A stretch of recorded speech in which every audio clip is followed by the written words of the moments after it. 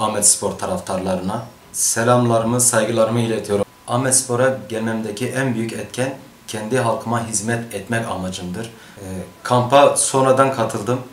Ee, dört gündür ee, bir çalışma ortamı yakaladım. Her şey gayet güzel. Ee, bir aile ortamı var. Biz bu birliği, beraberliği yakaladığımız ee, zarfında çok müthiş iş, işlere ee, imza at- atacağımızı düşünüyorum. Kendi halkıma hizmet edebilme fırsatı yakaladığım için çok mutluyum. Ee, inşallah bu sezon ee, hedeflediğimiz şampiyonluğa ulaşırız. Kazasız belasız bir sezon olur. Ahmet Spor taraftarı bizim arkamızdaki itici güç olsunlar. Her koşulda bize desteklerini versinler. Ee, Biz de onları mahcup etmemek için elimizden gelen tüm çabayı göstereceğiz.